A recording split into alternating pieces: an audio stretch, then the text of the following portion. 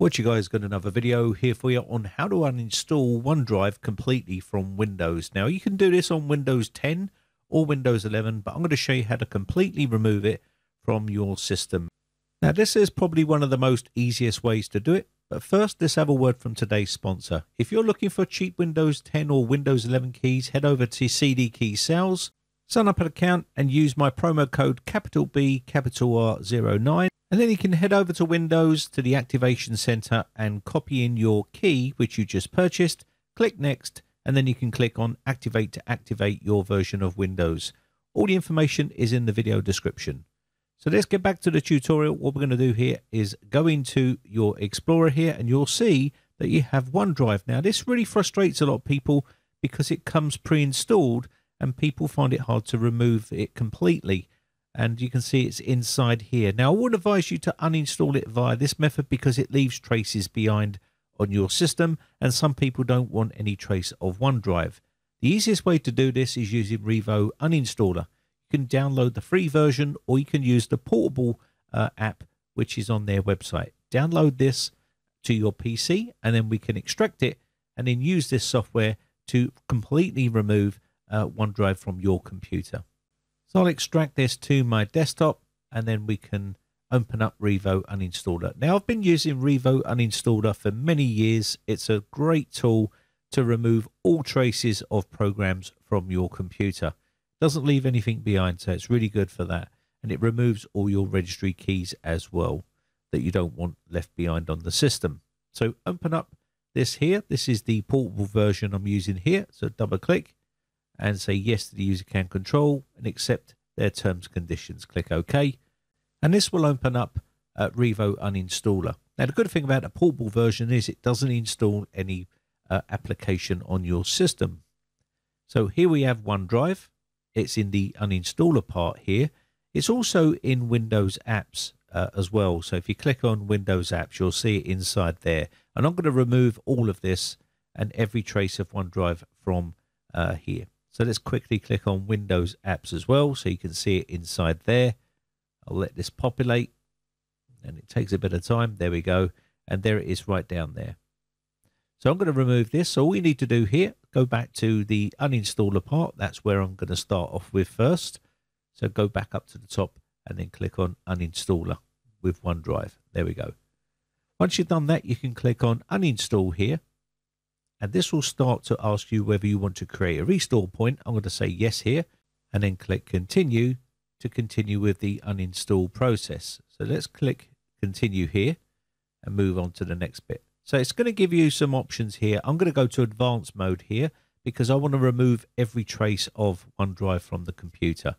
So it'll go ahead and start to remove that. And then once we've completed the initial uninstall, we can go to scan. And what this is going to do is to scan your system and your registry to find any remnants that are left behind. And as you can see, there is a lot of remnants left behind after the uninstall. So I'm going to select all of these and this will remove every trace of well, OneDrive from your PC. So let me uh, select all here and then we can click delete. So when we click delete, it's going to ask us, do we want to delete these? I'm going to say yes. And you can see there's even more traces of files left behind. So I'm going to go to select all again. And we can then delete these as well. So let's delete these. Say yes. And it will remove those. And the remaining ones here, we can uh, leave these and click delete. And this will remove these on final restart of the system. So let me go ahead and delete these. So there we go. It wants us to restart our system now to remove the rest of these. So click finish. And then what we can do here is go to Windows apps. And I'm just going to quickly click on this area here and go to the uninstaller here. And click continue. And you should see PowerShell window opening up and that should be done. Click scan and you'll see it will say there's no traces of files left on the system.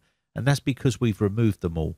So what we need to do now is restart uh, the computer to finish off the process. So let's go ahead and quickly do that. You can see I'm running Windows 11 here, but you can do this on Windows 10 as well, and it will completely remove all of OneDrive from your PC. So we'll let the uh, operating system boot up here. And the good thing about this method is that you don't need to do any other steps like going into group policy editor or into the registry manually or any of that sort of stuff. You can just do it using this program and it doesn't even install the application on your system. Very easy to do. So all we need to do now is we can go into uh, Explorer here and see whether it's been removed. So you can see from the this PC area, you can see the actual OneDrive has been removed from the PC. Now this is the area that people normally have trouble removing from their PC and you have to do registry edits. But in this case, it's completely removed it. And you can see it's not inside uh, the uninstaller program as well. So it's all been removed from the system. Let's just check inside the apps area here.